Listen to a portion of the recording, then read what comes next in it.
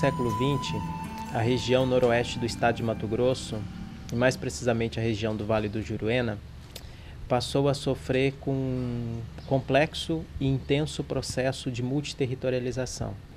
No início do século, com a implantação das linhas telegráficas e o contato da Comissão Rondon com algumas populações indígenas, na sequência, nós temos o início do trabalho dos padres jesuítas que passam a se relacionar com essas populações e passam a estar presentes, a se estabelecer na região. Depois, nós temos a chegada dos seringueiros, dentro da lógica do contexto eh, da Segunda Guerra Mundial e do surgimento do terceiro ciclo da borracha no Brasil. A gente pegar, por exemplo, no que se refere à ocupação desse território mesmo aqui em Mato Grosso, desde as primeiras bandeiras, nós iremos observar que houve uma apropriação dessas terras por conta dos bandeirantes e esses povos apesar de tudo, resistiram. Né? Resistiram e certamente foram os maiores prejudicados. Quando se fala nessa proximidade, significa a intervenção direta no nosso convívio social, né? na mudança do, do, da nossa organização social, o nosso meio de autossubsistência, a manutenção da identidade cultural, que é aspecto tradicional.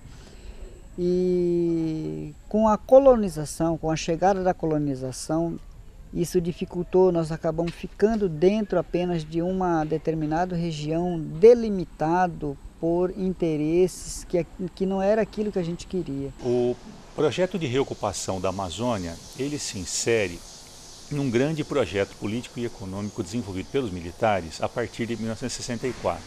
Esse projeto foi imposto ao país uh, por meio da ditadura. Ele envolve aspectos externos, como Guerra Fria e a preocupação dos militares com o avanço do comunismo sobre o Ocidente, e aspectos internos que uh, significam, em síntese, uma reorganização da economia brasileira marcada até aquele momento por um nacionalismo, por, as, por, por uma política voltada mais para a, a, a intervenção do Estado. A grande questão que se coloca desse encontro está relacionado ao território e a tudo que esse território representa. O que ocorre de fato é uma disputa por seu por um determinado território. Território este que tem significados bastante diferentes para esses diferentes sujeitos. Enquanto que para populações indígenas esse território está relacionado não apenas ao espaço de subsistência mas principalmente ao espaço de sua cultura, ao espaço de sua religiosidade, ao espaço de suas práticas. Tá? Para as sociedades não indígenas que vêm é, é, lutando por esses espaços, esses espaços estão relacionados a uma questão de produção, de sobrevivência, a, a inserção desses espaços numa lógica da dinâmica capitalista. A gente tem um passado muito triste, né? muito triste em relação aos acontecimentos que houve pelo, pelos massacres é, de outros povos ocorridos com cinta larga é, do paralelo 11 e aonde foram dizimados é, quase que 80% da população. Hoje nós estamos aí com essa, essa nossa área demarcada, né, demolongada, mas mesmo assim a gente não pode dizer que está seguro, né? Então a gente tem que é, trabalhar mais em cima disso, estar tá mais organizado, mais, né, mais atento nessas partes de as políticas são hoje sabe que o governo cada vez ele está querendo acabar com as áreas indígenas e a gente sempre vem em luta, enfrentando muitas ameaças, muitas, né, não só o cacique, mas quanto quem sai mais para fora, professor, agente de saúde. Nós iremos deparar com um discurso parte do governo em que dizia a respeito da necessidade de ocupação dessas terras, né?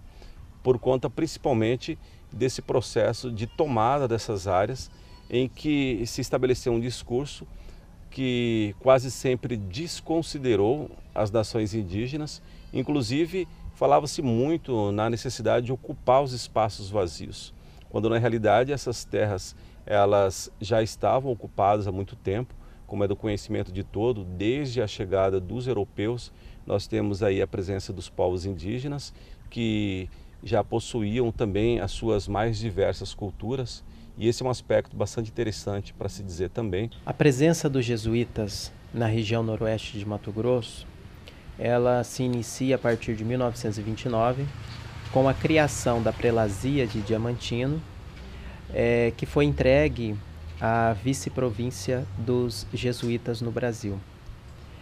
É, os jesuítas receberam também a missão de estar atuando junto às populações indígenas de uma imensa área que ia do vale do rio Xingu, nas proximidades da região do Araguaia de Mato Grosso, até o vale do rio Juruena, no noroeste de Mato Grosso, passando inclusive pelo vale do rio Telespires, localizado entre o rio Juruena e o rio Xingu. Então, a partir daí, os padres jesuítas começaram um processo de, de instalação na região, cuja o trabalho missionário estava focado nas populações indígenas. É, de maneira muito especial, um trabalho de catequização dessas populações indígenas. Diante dos conflitos, diante desse processo de chegada de seringueiros e demais trabalhadores na região, é, as mortes entre as populações indígenas passaram a ser extremamente frequentes. Esse processo gerou um número significativo de órfãos nessas aldeias indígenas, inclusive entre os povos uriquibaxas. Então, os padres jesuítas recolhiam essas crianças órfãos das diversas idades, inclusive crianças recém-nascidas, e levavam para o internato de Tiraiti. Nesse espaço, essas crianças passavam a ser educadas dentro da lógica da educação jesuítica. A gente não sabia como que era essa, essa situação e a gente acabou vindo, tirar, tiraram eu da minha mãe, sem saber para onde eu estava indo. Né? Aí, aí sei que foi, foi sete dias de viagem naqueles barcos, motor 10, 12. Aí chegava à noite, a gente não tinha esse costume de viajar o tempo todo. De vez em quando eu, chegava à noite e chorava por causa de minha mãe, né? Aí, mas foi assim mesmo. Eu não sabia para onde que eu estava indo. Eu não sabia o que, que, que, que ia ser de mim também. Aí, aí eu até, cheguei, depois de sete dias, chegamos hospital do Queriti. Eu não sabia se eu ia para o. Porque nós viemos lá do Ariponé, né? morava no Ariponã. Aí quando nós, quando nós viemos, com meu pai de criação, minha mãe de criação, eu não conheço minha mãe não. Eu conheço só meu pai e minha irmã. Meu irmão também não conhece não. Aí os outros criaram eu, né? Eu criei na, na mão dos outros. Aí no, no fim do. Nós viemos no, no, no escondido. Já tinha gente, gente branca, aquela. Na mãe dela era Sheila. Ela falava para nós, não, não precisa ficar com medo de nós não. Uhum. Precisa ficar com medo de nós não, nós vamos cuidar de vocês. Ela falava, né? Não, não, não conhecia branco. Aí eles faziam comida, arroz, fritava peixe. Nós não comia não. Nós comia só nossas comidas mesmo. Acho que foi em 63 que meu pai visitou o internato lá do TRT. E me lembro que chorava muito, a garrafa nele não queria largar dele, né? Foi assim, mas foi uma lembrança muito vaga que eu tinha daquele período, né, que eu ainda guardo na memória. E aí, quando passamos por lá dos mestres, claro, aí tivemos que conviver com, eu acho que me lembro, cinco tribos diferentes, que até então éramos rivais, né? Éramos Iranche, Nabiquara, depois acho que Cinta Larga, Escaiabi, Pois a Piacá eram tudo tribos rivais. Então se imagina como que era difícil nós sendo educados naquele ambiente. Eu tinha muito colar e a irmã falou assim, você não vai usar esse daqui não, ela falou. Esse daqui, você não vai usar esse daqui não, você tem que tirar colar e, jogar. Ela falou. Eu falei para ela, não, não quero jogar meu colar não. Aí ele tirou do cola, meu colar do meu pescoço e ela. Não sei onde que ela deixou. Acho que, ela, acho que jogaram. Até então a gente vivia aquela, aquele regime de aculturação. Não, não era considerado assim como. Achava que o modelo mesmo que que servia é aquele modelo europeu. Todo mundo tinha que ser batizado, tinha que ser cristão e todo mundo para ir para o céu tinha que, tinha que ser. Tinha que fazer sacrifício. Você sabe que a estrutura da igreja na época era dessa forma. E assim foi, até os 16 anos né, que, eu, que estive lá no internato. Nós não sabia falar idioma. Não, nós não sabíamos nem falar em português, nadinha. Aí eles falavam, você tem que aprender, senão você vai apanhar, eles falavam para nós. Na verdade, o que ocorre é que você, é, é, ao inserir alguém com uma cultura completamente diferente, que vive numa lógica diferente, dentro de uma lógica de uma educação jesuítica, com uma rígida disciplina, você está promovendo uma grande contradição cultural dentro desse espaço. A evolução da sociedade não indígena ela é muito mais rápida do que aquilo que a gente imagina. Então acabam chegando na nossa comunidade muitas vezes aquilo que nós não precisamos. E para manter a cultura, nós devemos começar a trabalhar desde pequeno na comunidade. E não é fácil a gente é, segurar a essa evolução e essa integração social. É complicado viver numa sociedade assim, numa cultura diferente, sendo orientado por, por pessoas de outra cultura, né? E aí muita coisa era imposto a nós. Muitas dessas histórias são muito tristes. Eu, o que eu quero lembrar neste momento e que ficasse registrado é que a nossa luta agora em relação para defender esse restinho de terra que ainda sobra, e pedir à sociedade nacional, e principalmente os governantes, que são os legislativos, onde fazem lei, que ajude a gente a defender a nossa terra. Que ajude a gente a cuidar desse pouquinho de, de, de história que ainda sobra. Nós percebemos que as leis são contraditórias. O mesmo governo que faz lei para proteger, é ele faz lei para destruir. E que os nossos interesses não são respeitados. E eu acho que trabalhos aí realizados por muitos pesquisadores, historiadores em especial, têm contribuído para poder trazer aí aspectos importantes desses povos, dessas culturas, que certamente não podem se perder e que é possível a partir de estudos, de projetos que certamente contribuem diretamente até mesmo para com que esses povos tenham aí a manutenção da sua própria cultura, memória, aspecto fundamental para a existência de qualquer povo.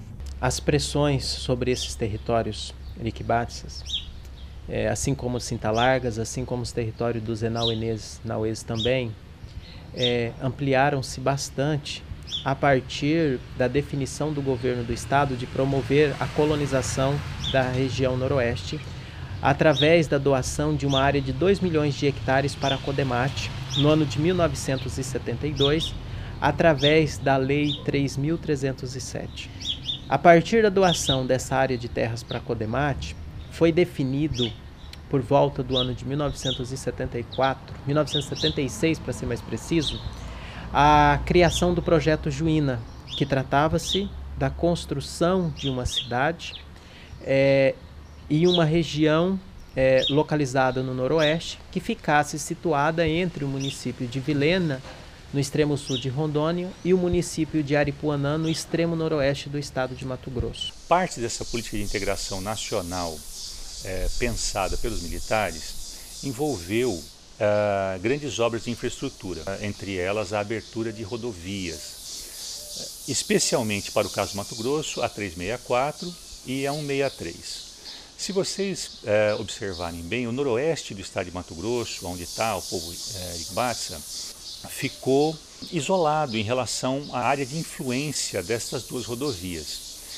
Foi aí que entrou a Codemate, a Companhia de Desenvolvimento de Mato Grosso, é, pensando a reocupação daquela área. A Codemate coube a, a incumbência de traçar uma rodovia que saía da fronteira entre o Mato Grosso uh, e Rondônia uh, e cruzasse o noroeste em direção a Aripuanã, que era a única capital, a única cidade uh, do Mato Grosso que não tinha acesso terrestre. Com a chegada da colonização da Codemate, isso é, expulsou os nossos povos para a margem dos rios.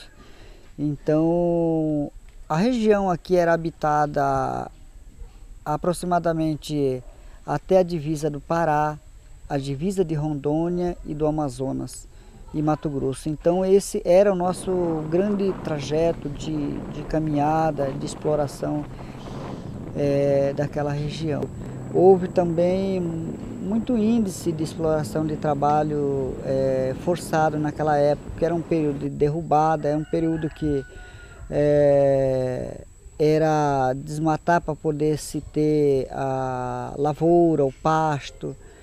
E sem contar que com isso trouxe doença e bebida alcoólica, onde nossos parentes acabaram que acostumando e trazendo isso até dentro da nossa comunidade. Os jovens se envolvendo em questão de droga. E graças a Deus aqui que ainda tem escola dentro da comunidade, que seu filho não precisa sair para fora para estudar. Muitas vezes o pai está preocupado, mas poxa, meu filho está lá na cidade, o que, que ele está fazendo? Mas em todo caso todo mundo estuda aqui, né? Então isso facilita bastante, os professores são é, indígenas mesmo, você se viu ali que tudo é indígena. Então isso é o maior orgulho que a gente tem hoje, que nossos professores é sendo indígena. O mais feliz que já tive a todo momento da minha vida é de eu participar de uma reconquista da nossa terra que já estava perdido na mão dos fazendeiros, aonde os nossos guerreiros eh, batalharam, lutaram, mesmo sem conhecer o português, mesmo sem conhecer a escrita, mesmo sem entender o que, que é política do homem branco, conquistaram de volta e usando a, o arco, a borduna e a flecha e toda a sua sabedoria. Eu vejo como bastante positivo discussões que vão de encontro com essa problemática, até porque sabemos que hoje no Brasil a questão relacionada aos povos indígenas é bastante atual e gera ainda debates que infelizmente nem sempre são bem aceitos por parte da sociedade por conta de verem no índio um invasor, alguém que ocupa aí grandes extensões de terras nos esquecendo na maioria das vezes que eram eles os donos dessas terras. Quando eu retornei, eu senti assim que eu estava vivendo um, um, retrocesso, porque a gente passou tantos anos lá no internato, mais de, mais de 10 anos no internato, sendo preparado para outro mundo, recebendo outra educação, e de repente você voltar para o meio do seu povo, eu considerava assim que, eu falei, puxa vida, será que estou no meio de um ambiente primitivo de novo?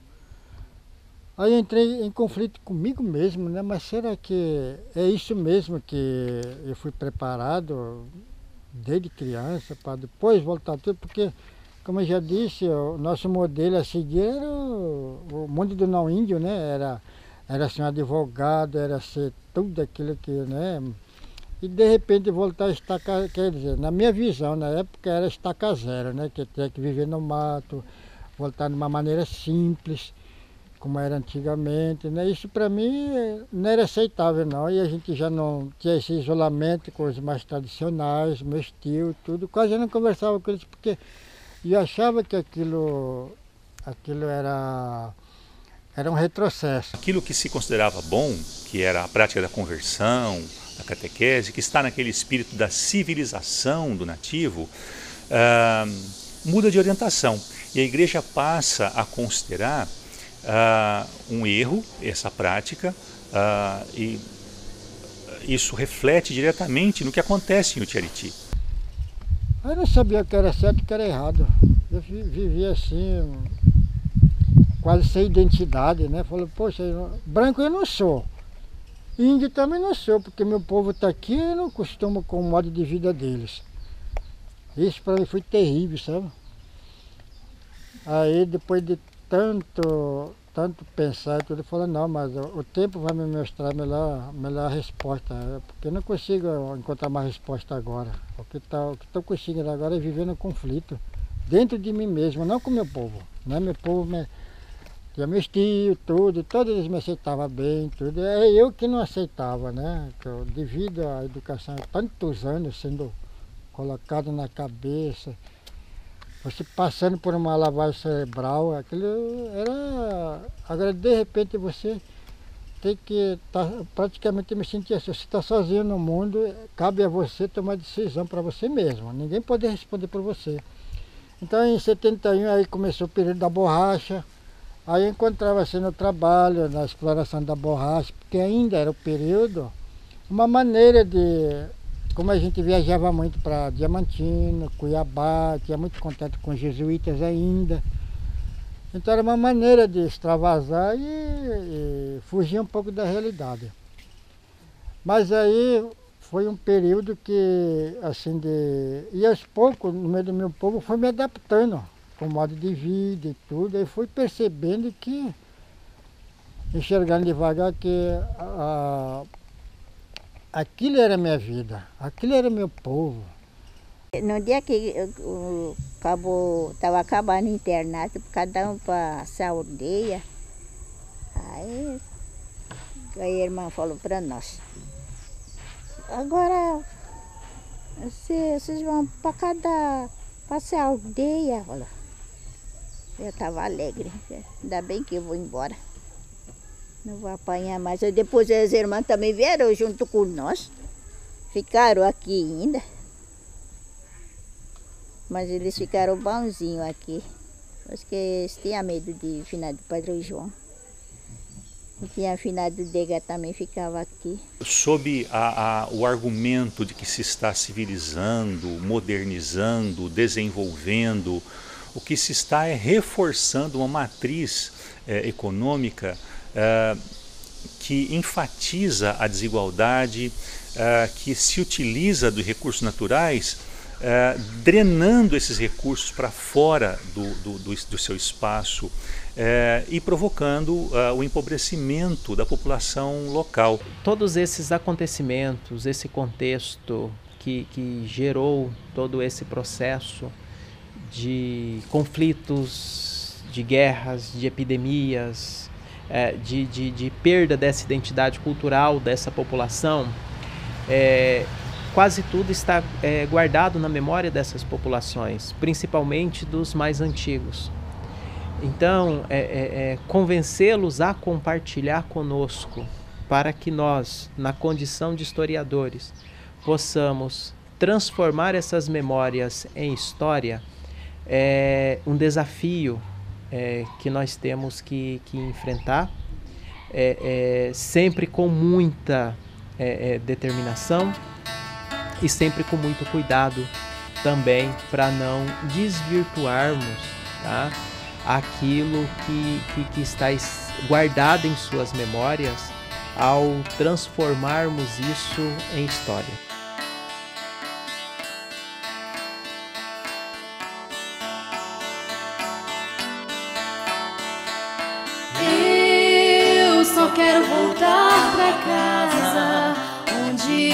Cresci. Ver as lajes e as praias e nunca esqueci. Lá no mato as passaradas fazem serenadas. Juntas cigarras e grilos